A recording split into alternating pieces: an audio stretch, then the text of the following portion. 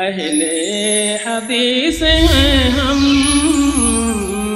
یہ عزم ہے ہمارا۔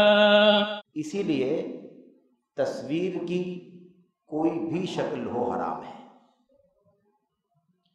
کیونکہ آج کیمرہ آ گیا ہے۔ تین تین چار چار کیمرے موبائل میں آ رہے ہیں۔ خالی تصویر کی نکال خالی چہرہ لینا ہے، فلاں کرنا ہے، یہ کرنا ہے، الگ الگ کیمرے آ گئے۔ یہ نہیں تھا، کچھ سالوں پہلے پچیس سال، پچاس سال پہلے نہیں تھا۔ پہلے کالے کیمرے تھے، سفید، بلیک وائٹ بعد میں رنگین آ گئے۔ اب آج کل یہ سب کافی ڈیجیٹل ہو گئے، کافی معیاری کیمرے ہو گئے۔ آگے اور نہ جانے کیسے کیسے چیزیں وجود میں آئیں گی۔ تو اس اس تبدیلی اور ترقی سے حکم تصویر کا نہیں بدلے گا۔ تصویر کا حکم سیم رہے گا۔ تصویر کھینچنے والوں پر اللہ کے نبی نے لانت فرمائی ہے۔ وہ لانت ایسے ہی رہے گی جیسے اللہ کے نبی نے فرمائی ہے۔ کیوں؟ کیمرے کی تصویر کو آج کیسے الگ کر سکتے ہیں؟ اس کو باہر کیسے نکال سکتے ہیں؟ دلیل کیا ہے نکالنے کی؟ لوگ کہتے ہیں کہ وہ بنایا نہیں جا رہا ہے، پینٹ نہیں کیا جا رہا ہے، یا کندھا ٹولس کی مدد سے کندھا نہیں کیا جا رہا ہے، بلکہ وہ لینس ہے اور لینس وہ تصویروں کا عکس لے لیتا ہے۔ اس لیے اس کو تصویر کے حکم میں شامل نہیں کیا جائے گا۔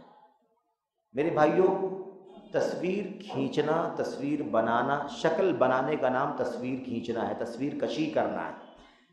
اس کے ہر زمانے کے حساب سے اپنے آلات ہیں، اپنے وسائل ہیں۔ یہ مشینریاں نہیں تھیں تو کچھ اور طریقہ چلتا تھا۔ وہ بھی نہیں تھا تو کچھ اور طریقہ تھا۔ وہ بھی نہیں تھا تو کچھ اور طریقہ تھا۔ آپ دیکھیں، تصویر کی بات نوح کے زمانے میں ہو رہی ہے، علیہ السلاۃ والسلام، ہے نا؟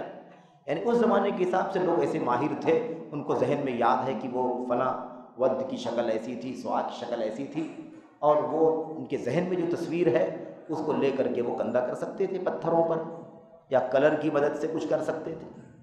ہر زمانے کے، ہر دور کے اپنے اپنے طریقے ہوتے ہیں تصویر کشی کے۔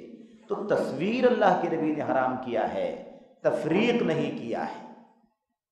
اللہ کے نبی نے تصویر میں تفریق نہیں کیا ہے کہ ایسی تصویر ایسی نکالی جائے گی، ویسی نکالی جائے گی، ایسی بنائی جائے گی تو حلال ہوگی، ایسی بنائی جائے گی تو حرام ہوگی۔ آج بتائیے آپ کہ آج کیمرے کا اس قدر چلن ہو چکا ہے کہ کوئی بیٹھ کر کے پینٹ والی تصویر بناتا ہی نہیں۔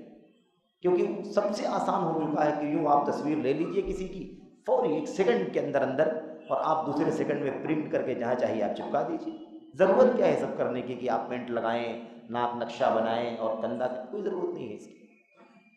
سمجھ رہے ہیں نا؟ تو میں اس لیے کہنے لگا کہ آپ دیکھیں کہ ہر زمانے کے اپنے طریقے ہوتے ہیں۔ تو طریقے کچھ بھی ہو جائیں، تصویر کو تصویر کہا جاتا ہے۔ آلات اور وسائل بدل سکتے ہیں، لیکن تصویر بہرحال تصویر ہے۔ اس لیے حکم یکساں ہے، کوئی فرق نہیں ہے اس کے اندر۔